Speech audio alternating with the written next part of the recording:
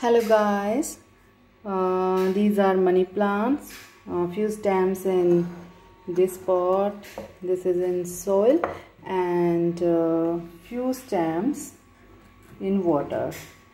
In this beautiful white pot and this beautiful brown pot.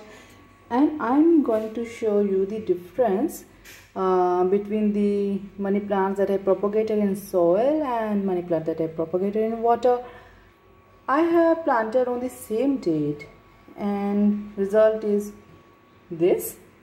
You can see guys uh, this one few stems these. Uh, these are greenish these are uh, in healthy way but you know uh, only a single stem have leaves. All other stems are barely uh, only roots have developed their roots and but no leaves at all. But in the other pot this is the result. The roots have developed so well and all stems have leaves. And new nodes you can say new buds new leaves are coming. Like these are new leaves are coming these are new leaves are coming these tiny leaves are developing so my experience is this that uh, in water money plant is growing fast as compared to in soil. So guys i'm going to plant these stems. Those are in soil in water in this class. And i will show you the results uh, next week. You will see the leaves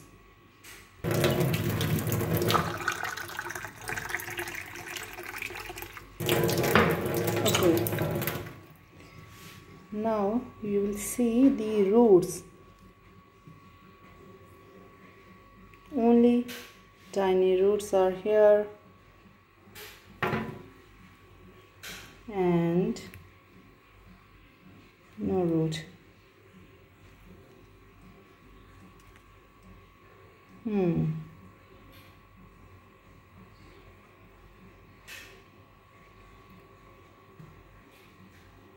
new nodes have developed. But its speed is so slow. I don't know why the process is slow in soil as compared to water.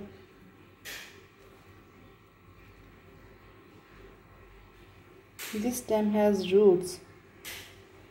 But why not leaves? No idea.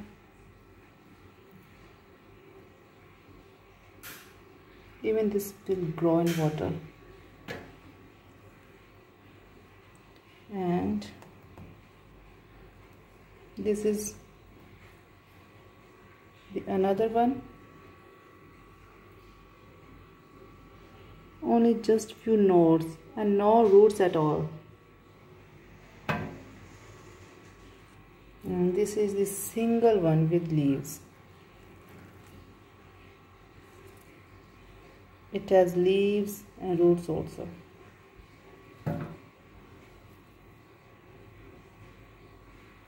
okay I will wash these stems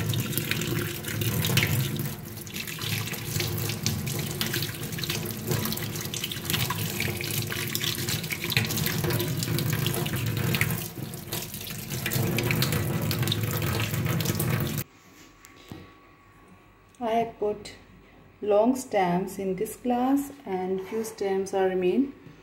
Uh, those are